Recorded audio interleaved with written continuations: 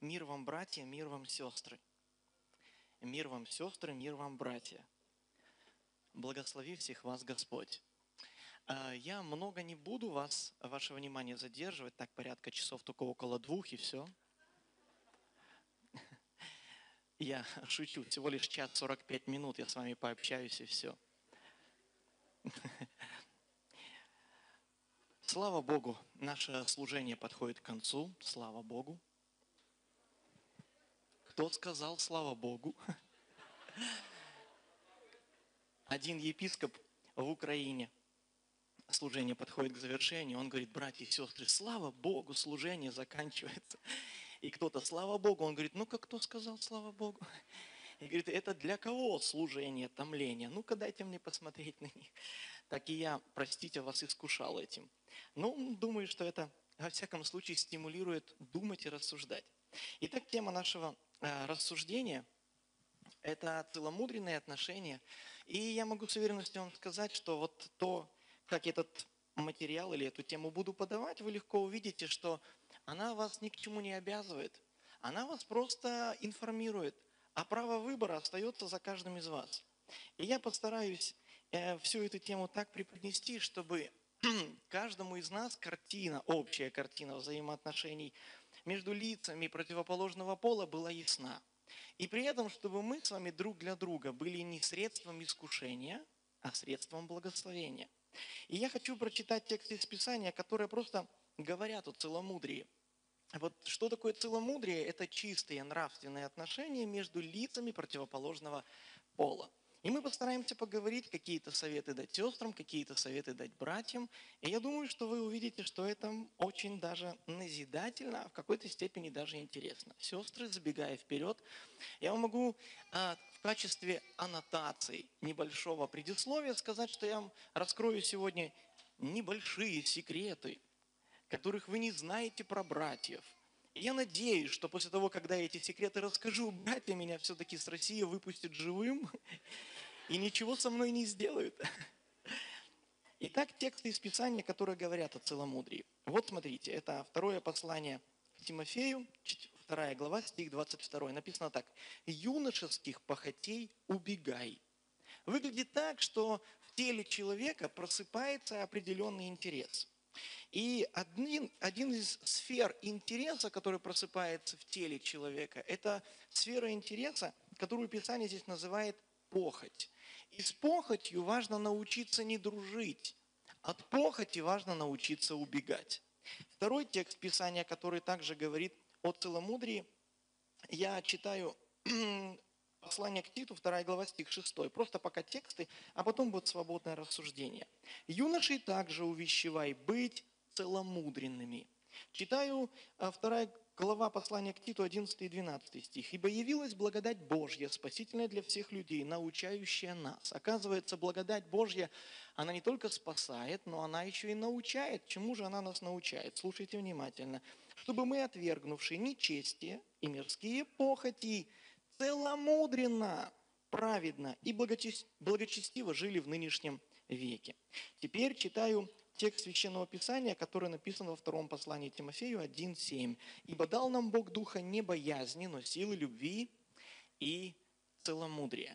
Теперь смотрите, если человек позволил, чтобы Бог своей благодатью его научил то обязательно один из плодов этой науки будет наличие в его жизни целомудрия. Если Дух Святой в твоем и моем сердце присутствует, Он обязательно тебя и меня поощрит к тому, чтобы твой образ жизни был целомудренным, потому что мы приняли, Библия так говорит, духа не боязни, но силы любви и целомудрие. Итак, целомудрие – это чистые нравственные отношения между лицами противоположного пола. Мы говорим, что этот термин в этом мире, он пренебрегается полностью. Люди в этом мире, они убегают от того, чтобы иметь чистые нравственные отношения. Они разжигаются похотями, страстями. И на почве этих страстей и похотей делают разного рода безрассудные дела, поступки и так далее. Для нас же, надеющихся на святое имя Иисуса, вопрос чистых нравственных отношений для нас он очень важен.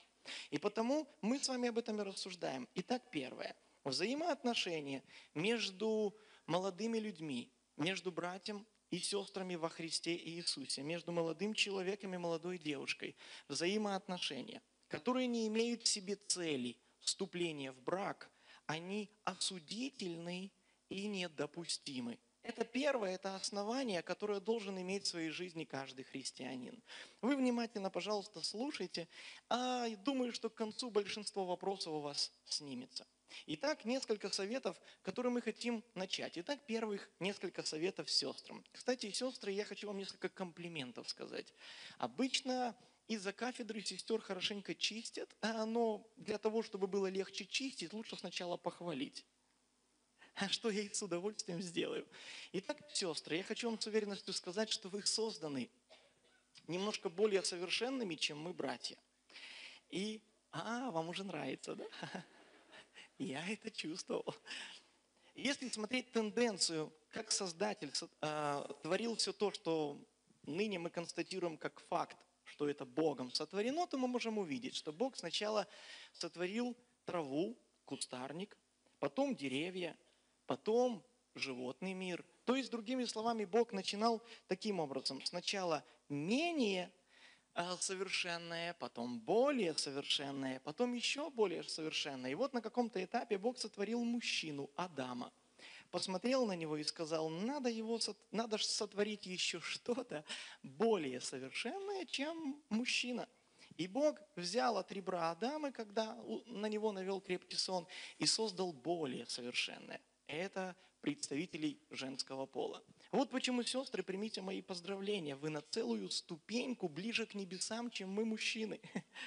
А мы, мужчины, мы на целую ступеньку ближе к земле, чем все присутствующие дамы, женщины и сестры. Это можете вы легко увидеть в своей жизни. Все братья, они очень примитивны в большинстве своем. Вот вы смотрите. А, да, вы, вы узнаете себя, да? Смотрите, вот, к примеру, простые примеры, несколько примеров из жизни. Смотрите, вот что, к примеру, надо мужчине. Вот если он состоит в браке, он женатый человек. Вот если он, что ему надо? Ему надо, чтобы прийти домой и было что поесть. Для него это важно. Что важно для сестер? Она всегда такая мечтательная. Сестры, они всегда летают в облаках, они всегда себе рисуют радужную жизнь. Для сестры эти приоритеты чуть-чуть другие. Она для себя рассуждает так. Так, как это свернуть салфеточки для того, чтобы на столе это красиво выглядело. Как это расставить ложечки, еще с правильной стороны положить вилочку и ножичек, какую-то скатерть сюда накрыть, какую-то релочку подобрать. И я думаю, что вы это можете легко заметить. К примеру, в спальной комнате что важно для мужчины? Чтобы ему было где спать. Все. Для женщин же, да вы что, это столько процесс целый. Это женщины могут целый день провести в отделе, где продаются шторы и мучиться. Что же мне повесить в спальню? Для мужчин это вещь вообще второстепенная. Я сколько раз в своей жизни замечал, кстати, вы обращали внимание, что женщины, они замечают детали. А мужчины, они детали упускают из внешнего вида, они берут только суть. Ну, к примеру, я не один раз было, когда в каких-то поездках я был, и была свадьба. Ну, вот где-то в поездке я был, и кого-то из друзей была свадьба, я был приглашен на свадьбу, возвращаюсь домой с поездки, и своей жене говорю, Аня, я был на свадьбе. Ну, мою жену, как и любую другую женщину, интересует сразу один вопрос. Игорь, какое у невесты было платье? Ну, я со свойственным мужчинам понятием, я говорю, Аня, все помню, белое. Она говорит, нет, ну какие там рюшки, завитушки, там то, другое. Я говорю, прости, ничего не помню, помню, белое было точно. Мы, мужчины, мы видим важные глобальные вещи. Сестры же обращают внимание на детали. Ну, смотрите, к примеру, когда братья пытаются вспомнить проповедника, который проповедовал ну, на служении, на конференции, как они обычно это делают. Братья обычно это делают так. Они говорят так, ну помнишь брата того, ну, помнишь, он еще читал из 45 главы книги пророка Исаия. Помнишь, еще пример такой вот интересный приводил, и там вспоминают пример из проповеди. А если вы подслушаете, когда сестры вспоминают события, что происходили на служении, все совсем по-другому. Они говорят так, ну помнишь того брата, ну у него рубашка еще такая светлая, в полосочку была. Ну помнишь, еще брюки темные, и там носки никуда не годно белого цвета были, а туфли такие смешные, носы закручены и так далее. Выглядит так, что мы по-разному воспринимаем информацию мужчины по-особому, женщины по-особому. Так вот, на самом деле сестрам свойственно летать в облаках. Но сестры, невзирая на то, что вы более совершенны, чем мы, я имею в виду вот по факту, по цепочке творения, все-таки командовать парадом в семье Бог доверил нам, мужчинам. Я думаю, все мужчины могут воскликнуть «Аллилуйя!» Я могу на, эту, на эти вот мысли еще много таких штрихов разных подчеркивать, но я только один под, отмечу. Вы обращали внимание, что женщина обычно, она сначала плачет, а потом думает. Обычно так. Женщина сначала скажет, а потом думает. Вот потому женщина, она такая более эмоциональная. У мужчин же они более хладнокровные. Они сначала подумают, потом, если надо, слезу проронят.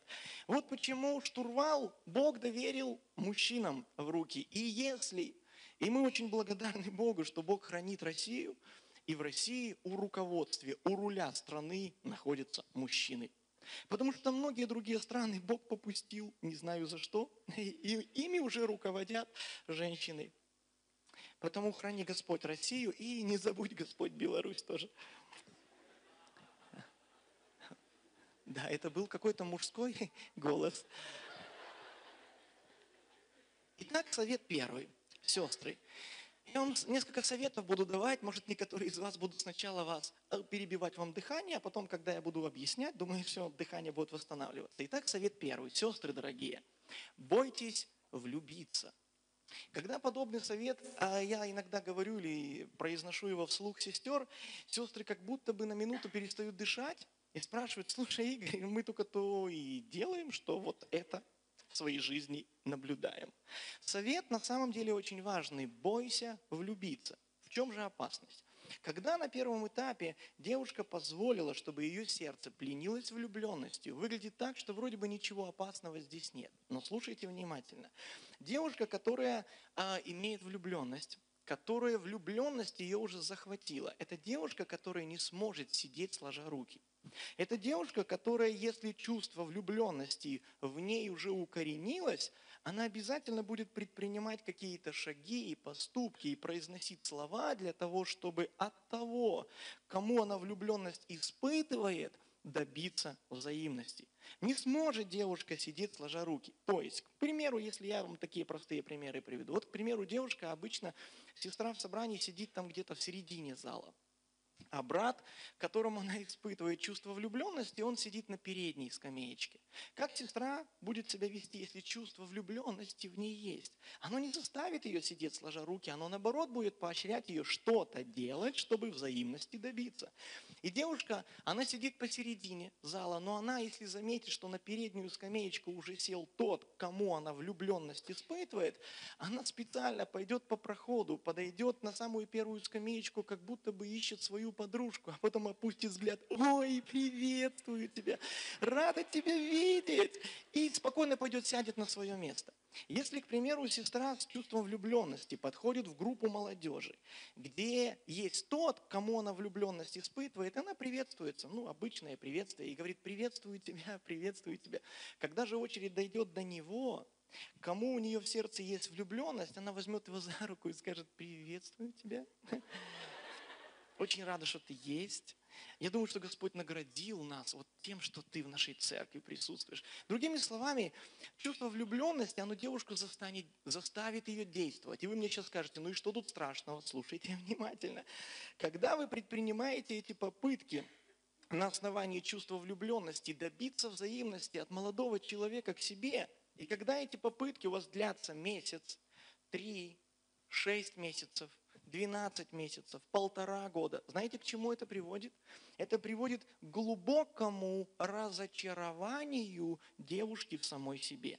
Она просто после всех таких трагедий глубокого разочарования, она смотрит на себя в зеркало и говорит, у меня самый курносый нос на свете.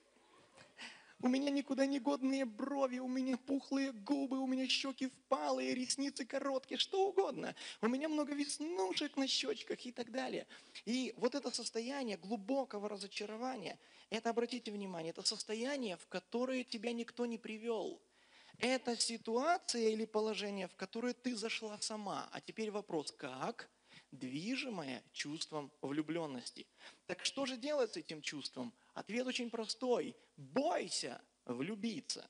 А когда же у девушки получается или дает ей право на влюбленность? Право на влюбленность у тебя есть только тогда, когда тебе сделали предложение, ты взвесила, подумала и ответила «да».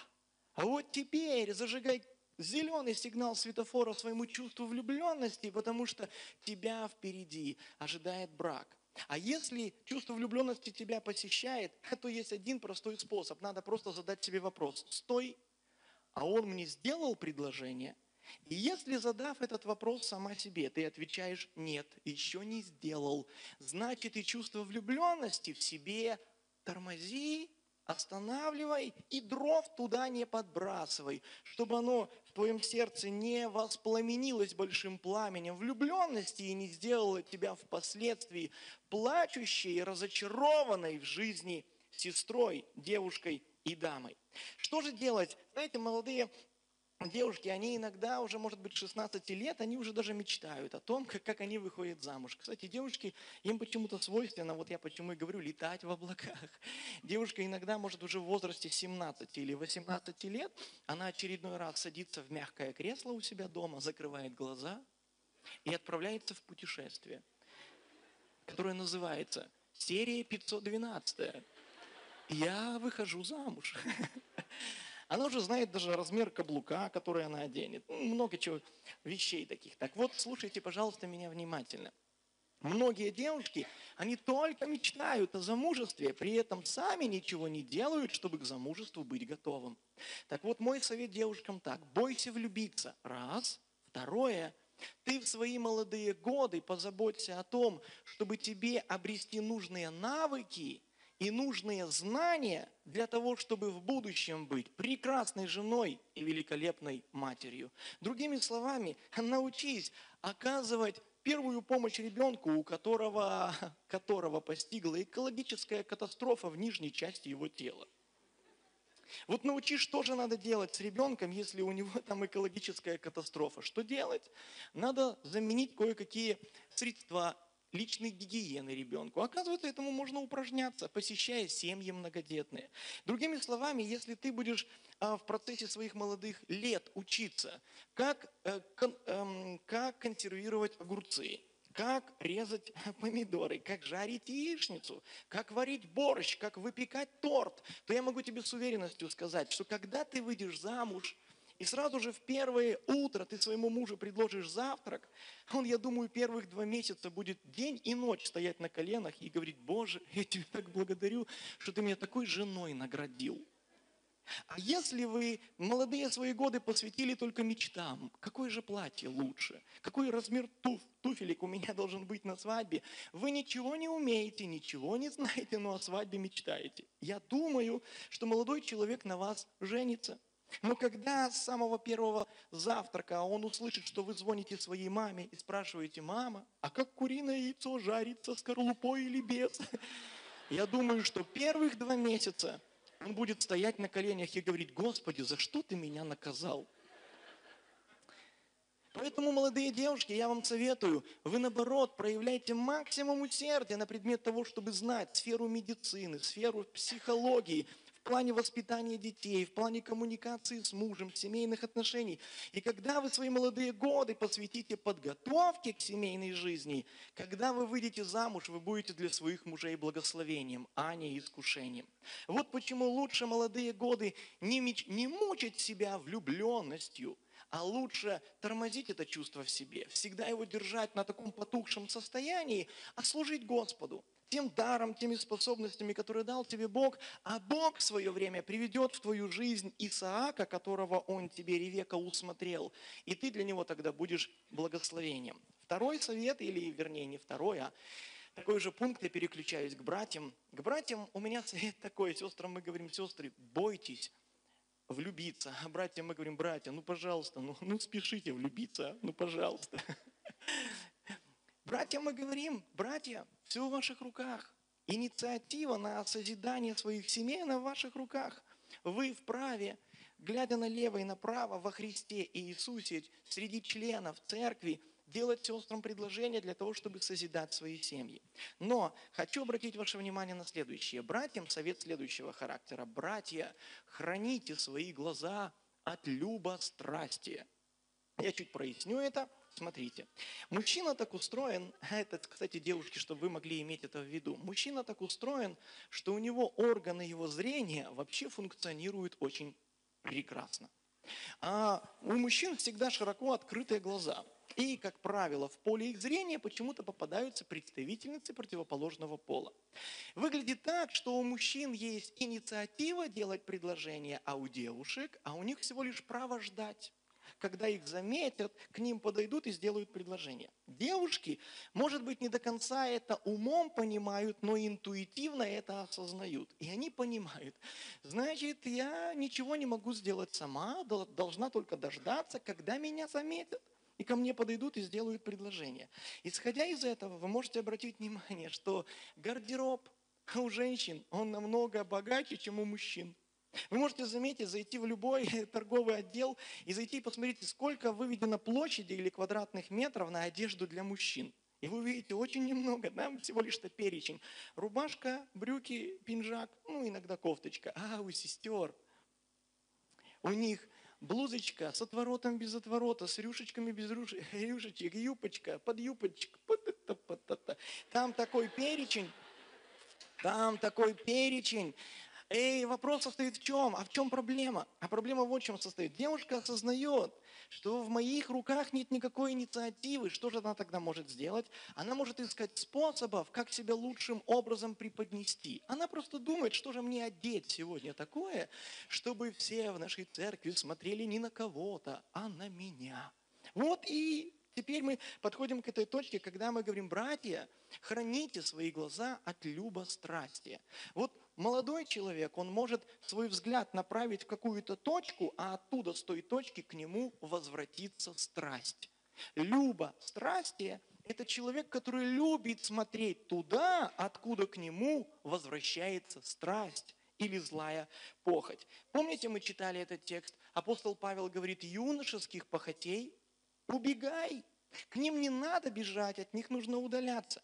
И вот смотрите, какое очень важное дело. Сестры дорогие, я думаю, что вам это сейчас будет понятно, потому что, мне кажется, я очень просто сейчас смогу кое-что объяснить. Девушкам, им в полном смысле слова надо уметь правильно одеваться. Почему? Потому что представители противоположного пола, мужчины, мальчики и юноши, они, девушки, смотрят на вас. Но слушайте внимательно. Но девушка должна одеться правильно, чтобы у лиц противоположного пола вызвать не низменные и похотливые чувства, а вызвать чувство восторга и восхищения. Смотрите, кто из вас в своей жизни хоть раз видел закат солнца, когда солнышко прячется или за водную гладь моря или океана, или за лесную опушку, солнышко прячется, весь закат – окрашен в красный цвет. Вы смотрите на эту картину и просто переполнены восторгом. И вы говорите, ах, Господь, как это возвышенно, Боже, как это прекрасно. Вы просто открываете свои уста и славите Создателя. Вторая картина. Представьте себе, что вы рано утром ушли на работу и не позавтракали. С обедом вам не, не удалось в течение дня встретиться. То есть завтрак вы пропустили, с обедом разминулись и такими полуголодными дотянули до ужина. И вот вы пришли домой и наблюдаете картину, что мама, прямо вот только вы переступили порог дома, и мама из духовки вытягивает такую свеже зажаренную курицу, натертую чесноком, политую майонезом. Аромат такой распространяется, а вас чувство голода уже с обеда мучает. Вы смотрите на эту зажаренную курицу, и я думаю, вашей чувства будут приблизительно следующего характера. Мама, ну быстрей, хотя бы ножку ухватить. Слушайте внимательно, сестры дорогие, сестры дорогие. Вы должны уметь одеваться так, чтобы люди противоположного пола, мужчины и юноши, смотрели на вас не как на жареную курицу, а как на закат солнца.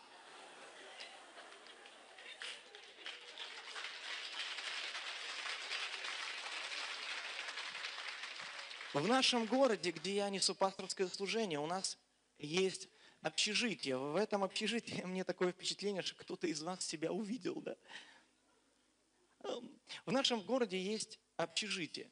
И в этом общежитии живут несколько членов нашей церкви. Очередной раз я подъехал к этому общежитию, припарковал свой автомобиль и ждал, когда наши члены церкви спустятся, чтобы нам ехать вместе. Через дорогу в нашем городе молодежный центр. И в этом молодежном центре, особенно к вечеру, собирается много молодежи, и там проводят разные увеселительные мероприятия. И вот проезжая часть, тут стоит заборчик, и у этого заборчика, оперлись на этот заборчик, э, трое солдат срочной службы. Ребята, которые служат срочную службу, они получили увольнительную и на выходные вышли в, в город. И я наблюдаю интересную картину.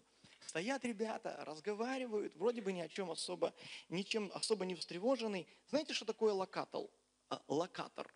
Это средство, которое позволяет обнаружить воздушные объекты. То есть локатор, он вращается, вращается, и, и если цель споймал, он дальше ее уже ведет. Так вот, ребята, они спокойно рассуждали, говорили, улыбались, и вдруг где-то с левой стороны появился неопознанный, но не летающий, а ходящий объект.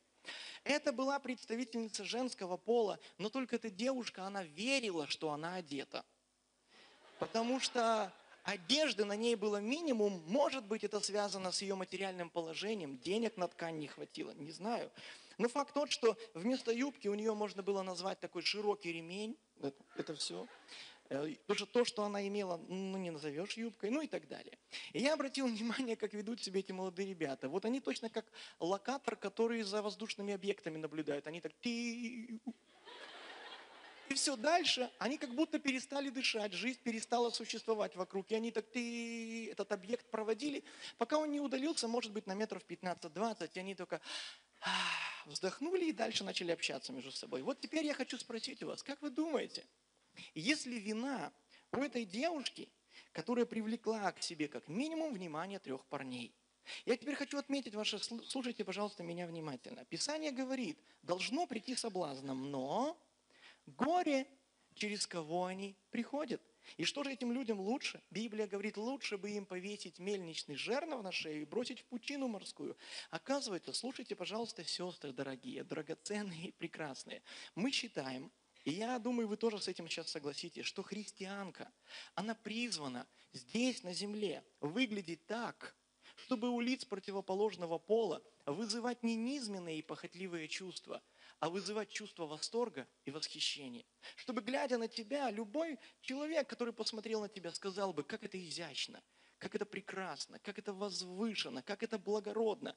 Но если ты одеваешься так, что к тебе прилипают похотливые взгляды, похотливых парней, мужчин и так далее, то в этом ты являешься никем иным, а соблазном. И Писание говорит, горе, через кого приходит соблазн, лучше бы им повесить, повесить мельничный жернов на шею. Потому, девушки дорогие, мы вас призываем к тому, чтобы вы подумали о том, как вы выглядите, как вы одеваетесь, чтобы вы не вызывали низменных и похотливых чувств у лиц противоположного пола, а наоборот вызывали восторг, восхищение, благородство и изящество. Для братьев у нас есть свое слово наставление. Мы говорим, братья, я думаю, многие из вас, вы ездите на автомобилях, и в автомобиле есть такая функция, как фары – Фары имеют несколько режимов. Есть ближний свет, есть дальний свет. И по мере того, когда водитель едет на автомобиле, он пользуется разным режимом фар. Так вот, братья дорогие, нам нужно уметь пользоваться своими оптическими приборами для того, чтобы к нам в нашу жизнь не возвращались страсти. Люба страсти. Это значит, что человек любит смотреть туда, откуда к нему возвращается страсть. Братья дорогие, умейте хранить свои глаза от любострастия. Что же для этого надо делать? Это значит, надо просто уметь вовремя переключаться на нужный режим работы твоей оптики. Идешь ты по городу, тебе навстречу идет объект, представитель противоположного пола, который верит, что одет, но на самом, одежде, на самом деле одежды самый минимум. Что делай? Переключайся с дальнего света на ближний травку рассматривай, цветочки, Можешь посчитать кирпичики на тротуарной проходной. А как только пройдешь с опасным объектом, снова переключайся на дальний свет и воздавай Богу славу, что Он сохранил тебя от искушения. Потому у каждого из нас есть своя ответственность. У девушек не будь соблазном, у братьев умей пользоваться своей оптической, опти, оптической системой так, чтобы не рождались в тебе похотливые страсти и похоти. Как-то разговаривая с одной девушкой, она говорит такие слова, а пусть не смотрят. А я говорю ей, а ты знаешь, это невозможно. Для ребят это невозможно. И теперь дальше несколько очень важных таких нюансов. Я хочу что, открыть небольшие секреты, сестры дорогие, особенно для вас. Вы знаете, что когда люди начинают между собой э, находить точку соприкосновения или коммуникацию, находить какие-то взаимоотношения, иногда девушки этого до конца не осознают и не понимают. Девушка так интересно устроена. Кстати, сколько посвящено трудов и написано книг, сколько написано докторских, каких-то, каких хотите, трудов по поводу того, чтобы познать, что же такое женщина. И все труды бесполезны. Успехом так они до конца и не закончились.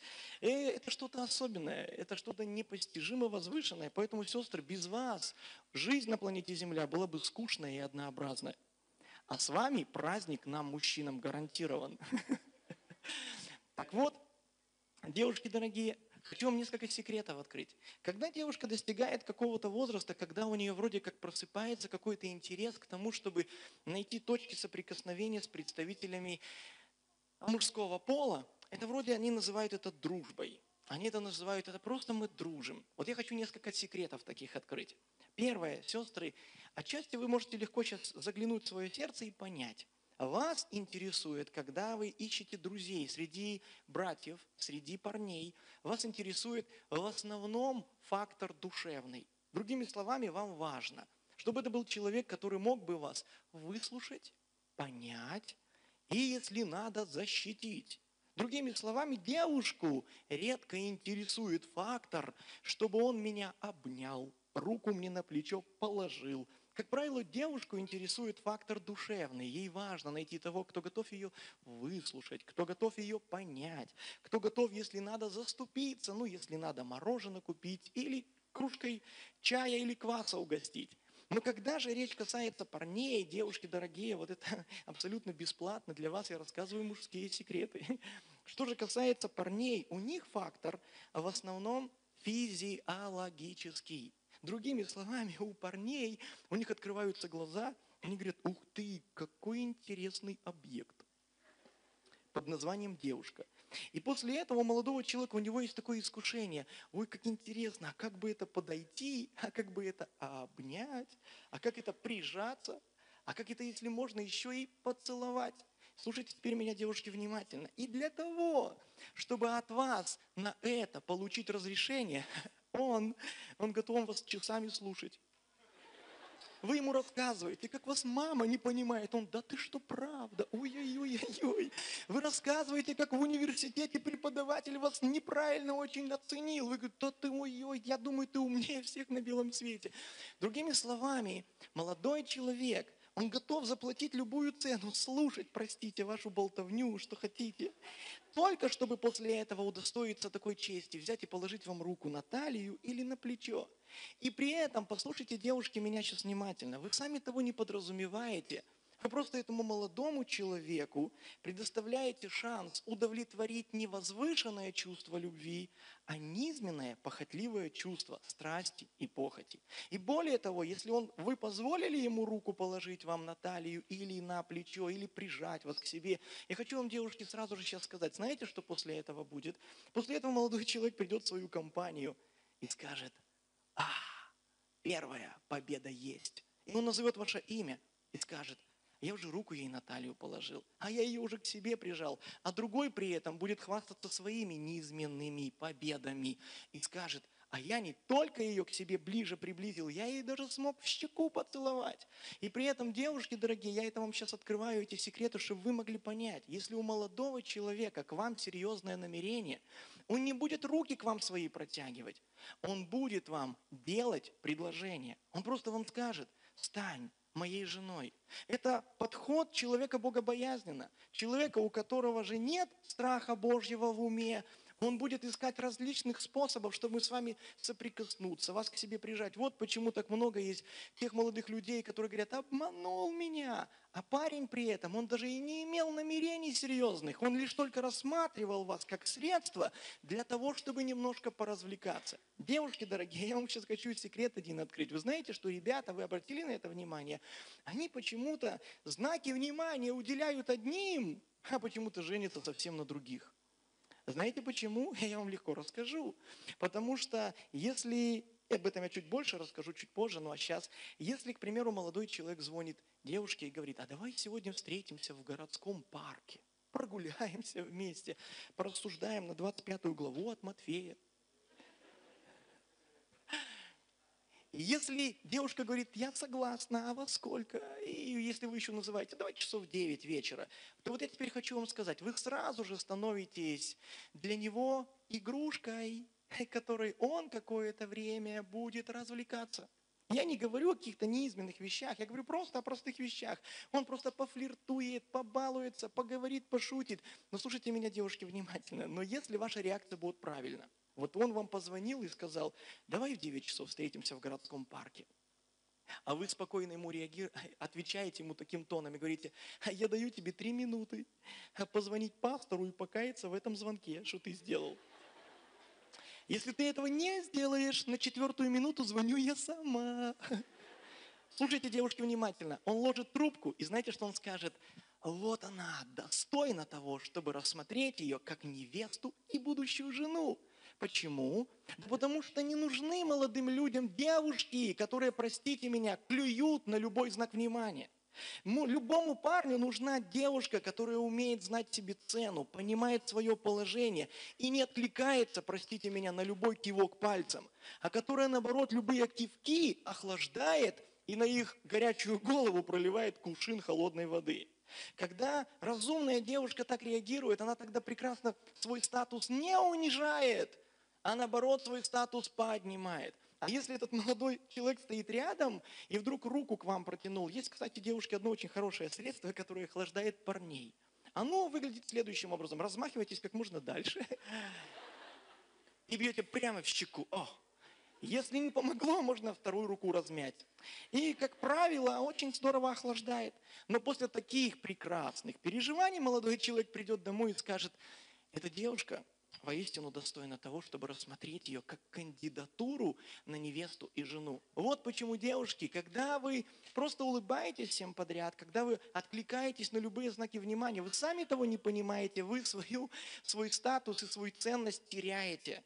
А когда вы проявляете мудрую, благоразумную такую твердость, такую недосягаемость, то тогда вы свой статус повышаете. Потому не будьте, пожалуйста, девушки разметными монетами – которым мы позволили к себе прикасаться всем, кому только что в голову, простите, не взбредет.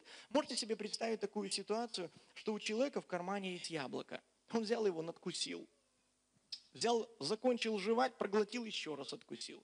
Почти съел все яблоко, а потом заметил своего одноклассника рядышком. Говорит, ой, прости, почти яблоко все съел, но я хочу тебя угостить. И угощает яблоком, которое уже почти скушал, и его надгрыз. Скажите, одноклассник с радостью примет такой подарок. Он скажет, слушай, спасибо, ну доедай сам. Так вот, наши молодые годы, слушайте девушки, слушайте парни, вы должны сохранить себя цельными.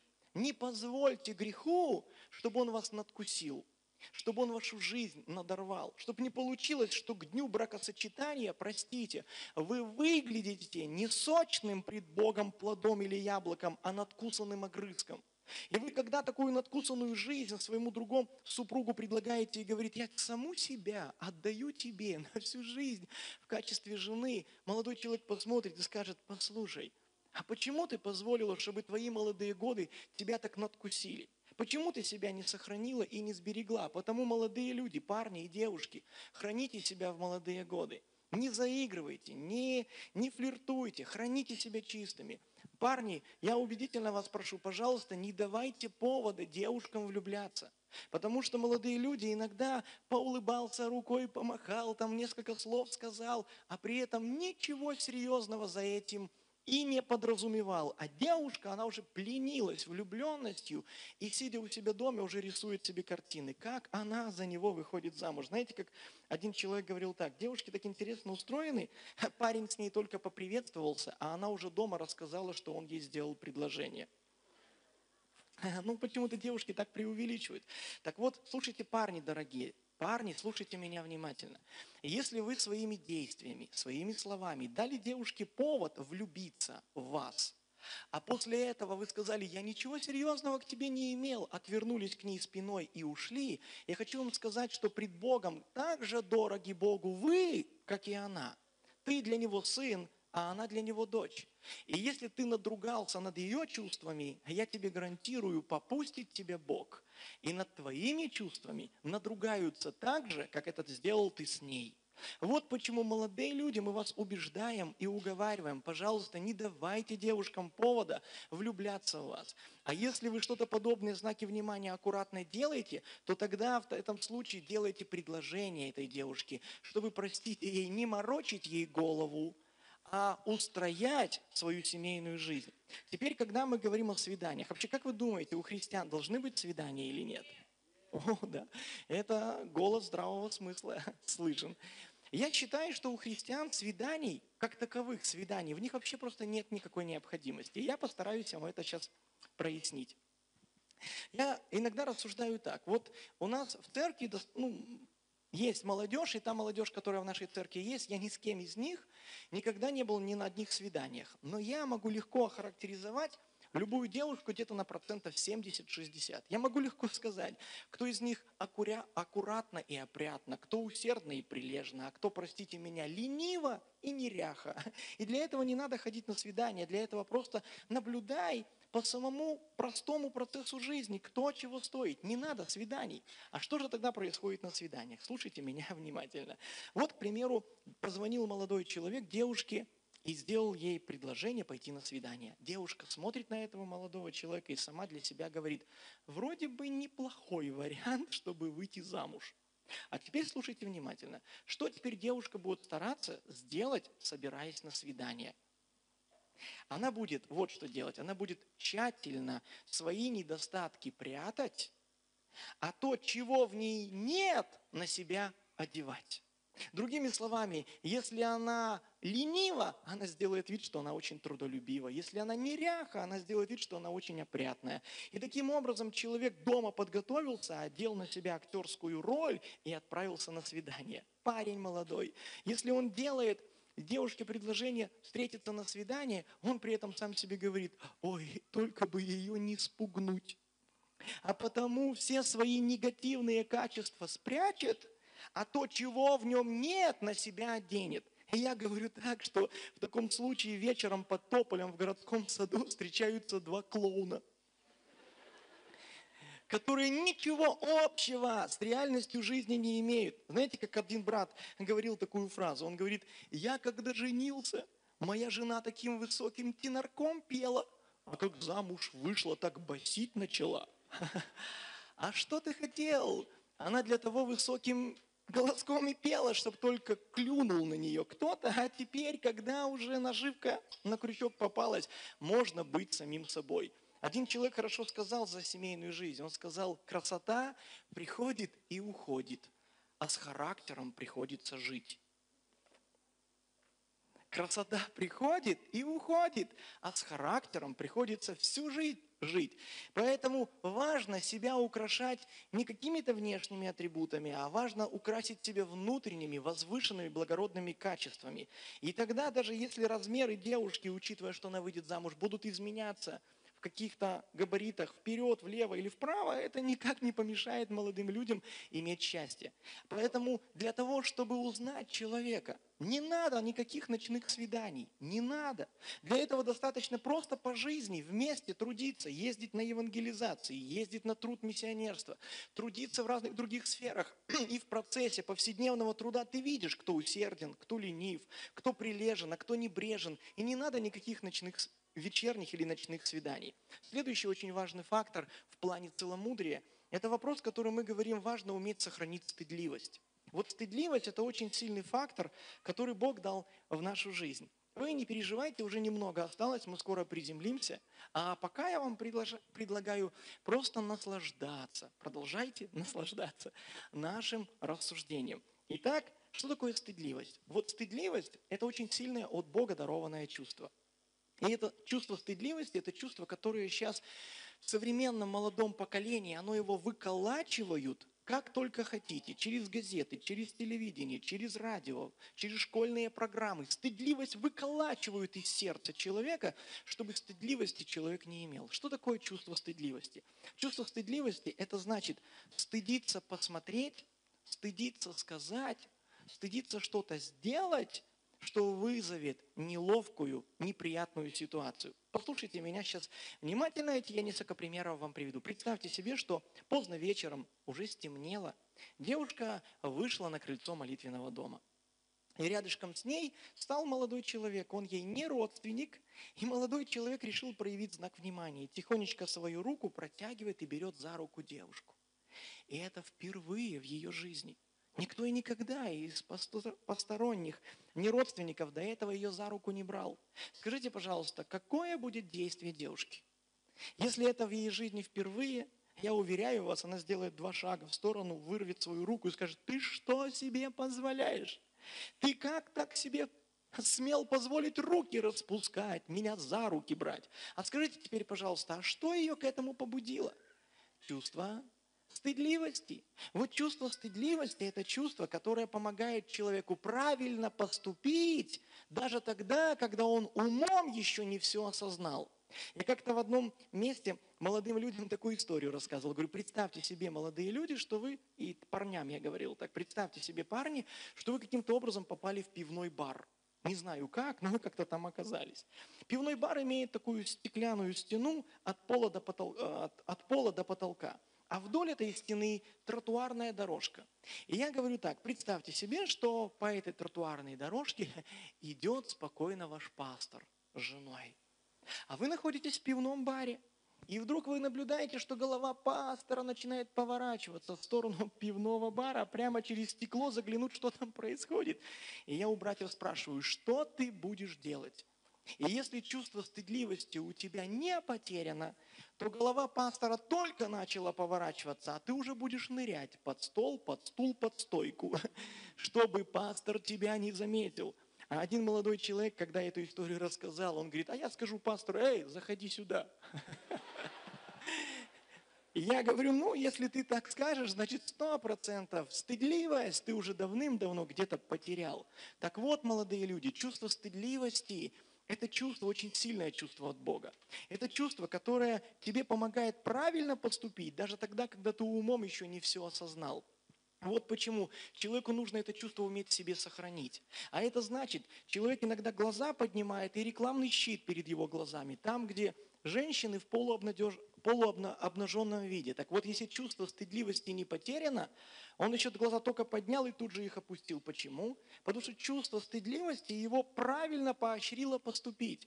А если у человека чувства стыдливости нет, он его потерял, то он только в поле зрения попадет к нему рекламный щит, он м-м, установится, все вокруг перестанет существовать. Он вопьется туда своим похотливым взглядом, черпая оттуда то, что человека не созидает, а развращает. Чувство стыдливости, очень сильное чувство, его надо уметь сохранить себе. Оно очень чуткое, оно очень нежное, его легко потерять, но нам, христианам, его важно научиться в себе сберечь. Чувство стыдливости – это значит, когда кто-то рассказывает какую-то, простите меня, жареную историю, такую полу с интимным содержанием, то чувство стыдливости тебя тут же покрасит в красный цвет, и тебе от стыда не будешь знать, куда убежать. Вот чувство стыдливости – это значит, ты не можешь посмотреть на картинку, которая имеет такое нецеломудренное содержание. Ты не можешь прочитать строки, которые в себе содержат какую-то там, рисуют картину такого легкого содержания. Ты не можешь посмотреть на плакат, ты не можешь услышать такую, простите, вульгарную историю. Почему? Потому что чувство стыдливости тебя отталкивает в сторону. Так вот, чувство стыдливости, его важно христианину в себе не потерять, а сохранить. Следующая очень важная часть – это важно уметь сохранить свои отношения до брака чистыми. И я проведу вам несколько историй, таких параллелей, вы их поймете. Понимаете, когда Бог дал людям начинать семейную жизнь, у людей начало их семейной жизни, оно сопровождается таким огромным чувством влюбленности. Оно со временем не проходит, а просто перерастает в любовь, в которую люди дорожат друг другом, ценят друг другом и с этим чувством идут по жизни. Так вот, слушайте внимательно. Чувство влюбленности, которое Бог дарит семейной паре, для того, чтобы они начали семейное плавание правильно. Это чувство влюбленности, если вы его потеряете – свиданиях в городском парке под Тополем. Потому что вы уже на свидания ходите целых шесть месяцев. Вам мороженое покупают. Вот это чувство стыдливости, вот это чувство влюбленности, оно уже потеряно там, в, в городском парке. И слушайте теперь меня внимательно. К чему это может привести? Состоялась брачная, брачный пир, бракосочетание, и молодые люди начинают семейную жизнь, начинают совместное плавание – вот это чувство влюбленности, оно у них осталось там, в парке, потому что они уже 9 месяцев встречаются, 9 месяцев себе за руку брали, 9 месяцев позволяли себе руку на плечо положить, прижать друг к другу. И это, этот трепет взаимный, он уже там остался, в парке. А теперь они начинают семейную жизнь. Слушайте меня внимательно. Они начинают семейную жизнь, и этого трепета у них уже нет. И к чему это может привести? Начинается первый обед. Налил где жена молодая налила мужу борщ и сама села напротив него. А он со свойственными ему, ему особенностями начал борщ кушать с такими хорошими звуковыми эффектами. Уа, такой кушает с удовольствием. Так вот это чувство трепета, если оно потеряно в саду, ее начнет, вот эти звуковые эффекты начнут ее заводить как пружину. Еще минутка, еще две, и вдруг пружина лопает. Она говорит, еще раз я такое услышу. Будешь обедать дома у мамы, а не у меня дома. А если чувство трепета, оно сохранилось. Почему? Потому что я к своей любимой не прикасался. Потому что я к ней не позволял даже рук протянуть. Я с трепетом сохранил себя к дню бракосочетания. Семейная жизнь началась. И вот она смотрит на своего любимого, как он борщ кушает со звуковым эффектом. И она говорит, ой, Господи, а ест-то как, как настоящий мужчина. Ой, Боже, слава Тебе! Вот Ты меня благословил. А когда ночь настала, и она ночью просыпается и слышит, ох, как духовой оркестр дает то если чувство влюбленности потеряно вот там в парке, ее это будет так заводить, она локтями его растолкает и скажет, ну на кухню пошел, что ты меня сна лишаешь. А если этот трепет сохранился, то она только проснется, услышит звуковой эффект и скажет, и спит, как настоящий мужчина. Господи, я так тебе благодарна за моего возлюбленного. Равно и наоборот. Вы меня простите, но я, может быть, это слишком так деликатно, но я думаю, оно помогает суть уловить. Если, к примеру, уже семейные люди остались один на один, уже вы женились они, и вдруг он у нее заметил здесь шрам, потому что ей делали какую-то операцию. А то вот если чувство влюбленности потеряно, вот это трепетное отношение друг к другу, то он посмотрит на этот шрам и скажет, ой-ой-ой-ой-ой-ой, что же там такое? А вот если этот трепет сохранен, если люди до брака себя сберегли и не позволили, чтобы даже к ним прикасались, сохранили себя возвышенными, то молодой человек посмотрит на свою жену, у которой здесь шрам, и скажет, ох ты мой шрамчик дорогой, тебе, дорогая, было больно, когда тебя оперировали, но я тебя пожалею, тебе станет легче и лучше.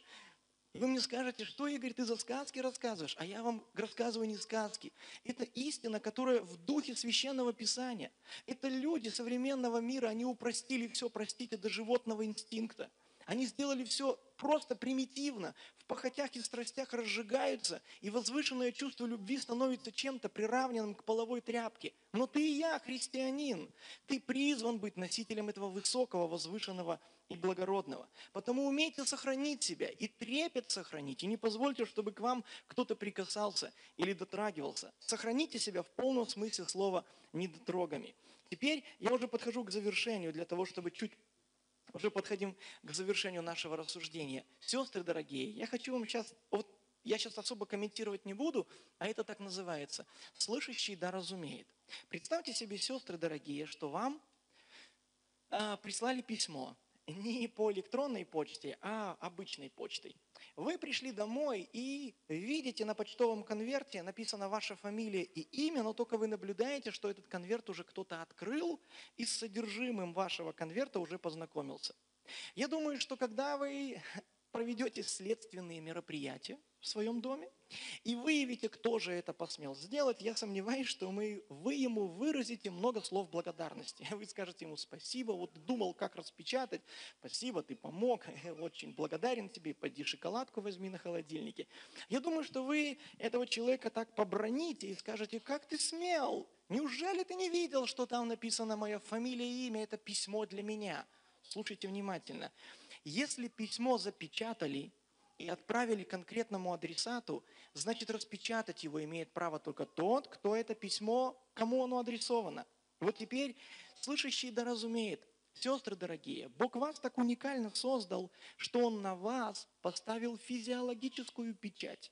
И Господь этим сказал, послушай, сестра, послушай, дочь моя, говорит Господь, ты не предназначена для всех. Ты предназначена для одного, которому я тебя и определил. А потому умей сохранить свою печать не вскрытой, сохрани свою целостность, сохрани свою ценность. И умей сохранить себя для одного. Я когда-то был в одном городе, не буду называть где и в каком месте, и э, ко мне подошла одна женщина, она уже имела детей, молодая женщина, лет 28, и у нее такой неверующий, буйный муж, очень такой буйный. Он очень такой успешный бизнесмен, и она подошла ко мне и говорит так, вы знаете, говорит она, брат Игорь, мне мой муж от меня требует, чтобы я одевала шорты. Она молодая женщина, и она говорит, в нашей церкви мы понимаем, что на девушке шорт быть не должно. И теперь слушайте внимательно, что она говорит своему мужу. Она мужу говорит своему, нет, я шорты одевать не буду. А муж ее говорит ей, нет, одень шорты, я хочу с тобой прогуляться по городу, чтобы все другие мужчины видели, какая у меня красивая жена. Она каждый раз ему говорила «нет», и между ними всегда было напряжение. Она подошла ко мне и спросила, брат Игорь, как мне быть, как поступить? И я ей дал совет, а от, от этого совета сам остался в восторге, как у меня хорошо ей получилось посоветовать. Я ей сказал так, слушайте меня внимательно – я ей сказал так. Я говорю так, знаешь, я советую тебе, сестра, ты очередной раз, когда услышишь от своего мужа просьбу «одень шорты», я говорю, ты скажи ему так. Скажи, что есть только один единственный мужчина на свете, который может видеть те части моего тела, которые не предназначены ко всеобщему обозрению. И этим мужчином являешься ты. И поэтому я никогда не одену шорты, никогда не одену брюки для того, чтобы то, те части тела, которые Бог предназначил не для всеобщего обозрения, ими мог наслаждаться только один мужчина, и это ты. А потому я не открою себя для всеобщего обозрения, для других глаз. И я после этого еще там в том городе был несколько дней, и я видел, как эта женщина приходила на служение, и у нее была такая легкая улыбка на лице. Я сам себе так представляю, если бы так жена пришла и своему мужу сказала, ты единственный, который имеет право на меня смотреть. Ты единственный, который может мною наслаждаться. А поэтому, пожалуйста, когда я говорю тебе, шорты не одену, это очередное доказательство. Ты единственный, кто может на меня смотреть. Вот так, сестры дорогие, я и вам хочу сказать. Все те особенностями, которыми вас наградил Господь, частями тела, которые вызывают восторг и восхищение, пожалуйста, сохраните их себе. Не открывайте их на всеобщее обозрение, потому что вы предназначены не всем. Вы предназначены одному. И этого одного от Бога, которому Бог вас и верит свое время в Его руки, вы умеете дождаться. А при этом оставайтесь усердными, богобоязненными, трудящимися пред Богом и служащими служащим Ему с доброй совестью пред Богом. Я уже подхожу к выводу для того, чтобы произвести еще просто один маленький нюанс. А, знаете, когда-то Дмитрий Беспалов в Риге проводил конференцию, и он там молодежь немножко чистил. Молодежь так замерла, почти перестала дышать. И он у молодежи спрашивает, молодежь, вы меня еще любите? А весь зал, да. Он говорит, тогда продолжим. Я боюсь спросить, любите ли вы меня, потому что могу мало ли что услышать, но мы продолжим. Немножко осталось. А, продолжайте наслаждаться, немножко.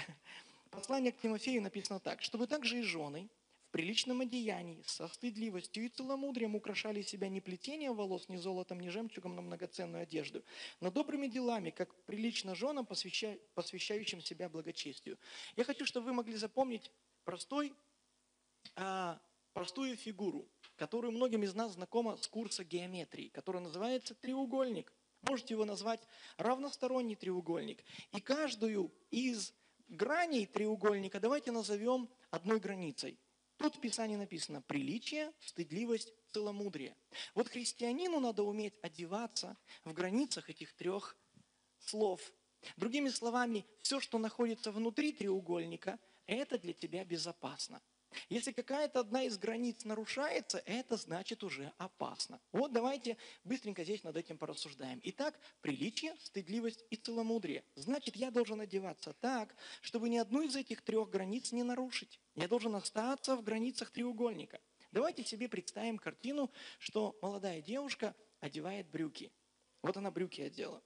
Теперь давайте спросим, вообще это прилично или нет? А приличие, слушайте внимательно, приличие, оно измеряется не мной. Приличие измеряется глазами людей, которые смотрят на меня. Другими словами, прилично я одет или неприлично, это вывод, который должен сделать не я, а те, кто смотрят на меня. Ну, в этой связи вопрос очень спорный, потому что мы живем в такой культуре или в таком народе, где наличие брюк на девушке или на женщине стало нормой. Поэтому с этой границей вопрос чуть-чуть спорный. А теперь давайте вопрос, возьмем границу стыдливости. Что такое стыдливость? Одеваться со стыдливостью. Одеваться со стыдливостью – это значит не открывать те части твоего тела, которые не предназначены для всеобщего обозрения. Стыдись открыть те части твоего тела, которые не предназначены для всеобщего обозрения. Вот теперь наличие на девушке брюк или шорт. Что они делают? Они эту границу нарушают или нет? И я вам могу здесь сказать с уверенностью, что то, сестры дорогие, чем вас наградил Господь, плане особенностей и изящностей вашей фигуры. Когда это преподносится в брючном костюме или в каких-то шортах, то все достопримечательности становятся на всеобщее обозрение выставлены намного лучшим образом, нежели когда вы одеты в платье или в юбку, которая все эти нюансы скрывает и покрывает. Следующее – целомудрие. Целомудрие – это значит одевайся так, чтобы не вызывать низменных и похотливых чувств у лиц противоположного пола. И вот если ты в границах этих трех границ, если ты одеваешься, то ты пред Богом воистину праведник, который в вопросах внешнего вида ни для кого является ни соблазном, ни преткновением. И я теперь всем без исключения вам это говорю как информацию к рассуждению – когда-то Павел говорил, говорю вам как рассудительным рассудите.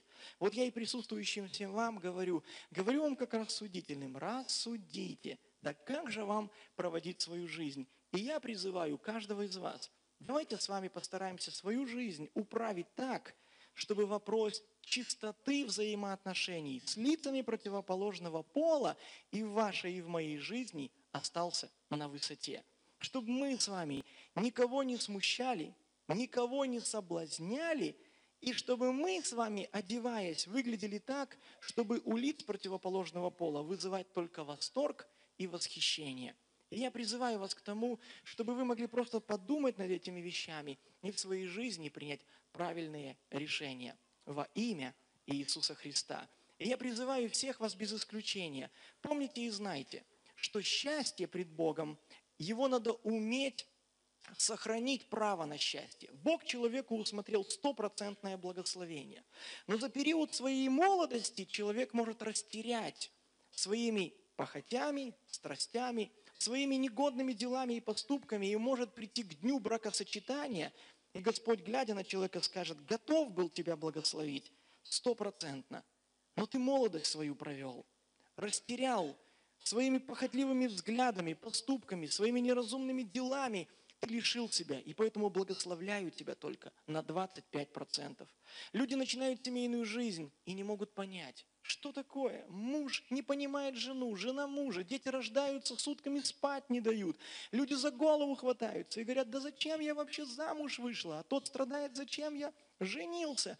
Я вам хочу сказать, друзья, все объясняется очень просто.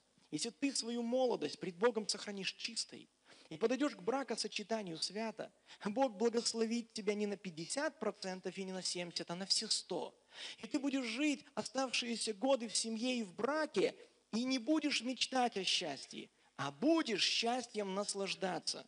Вот потому не позвольте себе лишить себе счастья. Потому святая жизнь в молодости – это залог благословения жизни в семье дальше. Знайте это, цените это, и помоги и благослови нам с вами всем Господь. Последний нюанс, и мы с вами молимся. Я когда слышал, когда один из братьев говорил, как нужно делать предложение брату или сестре, то вы простите меня, может быть, за такой простой пример, но думаю, что он зато очень ясно суть показывает. Я всегда говорю так, что если, к примеру, человек имеет две ноги, и две ноги, как правило, имеют пару обуви. И я говорю так, если человеку нужны дамские тапочки, и он нашел один дамский тапочек, или домашний тапочек, то что ему составит пару? Только дамский тапочек или домашний тапочек. Так вот, братья мои дорогие, прежде чем делать сестрам предложение, это отдельная тема, как это стоит делать, но прежде чем делать сестрам предложение, вот вообще очень полезно встать на себя в зеркало, ну хотя бы ну, с полчаса посмотреть, так, и ясно понять, вот кто я? Я керзовый сапог, я лапать, или я золотая, начищенная там до блеска мужская, мужской туфель. И теперь, если ты понял, кто ты, то теперь иди, пожалуйста, ищи себе пару. Если ты лапать, прости, керзовый сапог тебе не подойдет. А если ты керзовый сапог, то тебе золотая туфелька тоже не подойдет. Вот важно найти соответственную себе. Вот потому в, этом, в этих границах важно и определяться – Тут есть много деталей, которые мы сейчас опускаем. И самое главное, я призываю вас, молодые люди, давайте свои годы на земле здесь проведем так, чтобы ни для кого не быть соблазном, ни для кого не быть преткновением, а быть воистину носителями высоких благородных чувств, высоких благородных нравственных ценностей. И это не красивые слова, это то, что вы и я в своей жизни можете реализовать. И я вас к этому призываю во имя Иисуса проявить мудрость, благоразумие и открытое пред Богом сердце, чтобы слова здравого смысла могли помочь нам определиться в жизни и быть благоразумными. Давайте поднимемся пред Богом на ноги и в молитве обратимся к Нему, прося Его благословения. Мы Тебя благодарим, Небесный Отец. Мы имя Твое святое превозносим и Тебя благословляем. Мы Тебя благодарим, что Ты дал нам духа не боязни, а любви, на святости и целомудрие. Твой Святой Дух, Он нашу жизнь направляет к благоговению, к трепету и к чистоте, в том числе и к лицам противоположного пола. Мы, Господь, осознаем, что Твоя спасительная благодать, она учит тому, чтобы мы отвергнули нечестие и мирские похоти, могли жизнь проводить в святости и целомудрии. Мы, Господь, имея эту беседу и этот разговор, Бог Святой, мы Тебя благодарим, что Ты озаряешь наши и сердца, озаряешь ценностями и приоритетами, которые открывают нам суть каждой мелочи и мелкой детали нашей жизни. Мы просим у Тебя милости и мудрости на то, чтобы мы были благоразумны пред Тобой, чтобы никто из нас ни для кого и никогда не был соблазном и преткновением, чтобы никто из нас не был причиной рождения страсти и похоти у лиц противоположного пола, чтобы мы были носителями Твоей славы, чтобы никому из нас не прилипали похотливые взгляды и глаза других похотливых людей, но чтобы глядя на нас, люди были восхищены благородством, возвышенностью, чистотой, святостью, порядочностью. И в этом мы умоляем Тебя о милости и о мудрости, чтобы мы здесь, на земле, воистину могли быть отражением Твоей славы, в том числе и во внешнем виде, и в образе жизни, и во взаимоотношениях с лицами противоположного пола. Боже, мы призываем Твое благословение на всех молодых ребят, на всех братьев, призываем благословение на всех молодых сестер и девиц, и девушек во имя Иисуса. И просим Тебя, дай им милость и мудрость свои молодые годы не потратить, а мудро ими распорядиться, чтобы их судьба не была надкусана, надломана, чтобы она не была грехом истерзана, но чтобы они сохранили себя в чистоте и имели право в день бракосочетания получить не часть благословения, а всю благодать и благословение на предстоящую семейную жизнь. Да будет в наших сердцах трепет перед Тобой, стыдливость от Тебя, богобоязненность Твоя, Господь, чтобы нас, святых и чистых на земле, Ты зрел, видел и радовался, наблюдая нашу богобоязненную жизнь в чистоте и правде. Мы вверяемся в Твою руку и просим Твоего благословения во имя Иисуса Христа. Тебе святому слава, Тебе святому честь, Отец, Сын и Дух Святой. Аминь.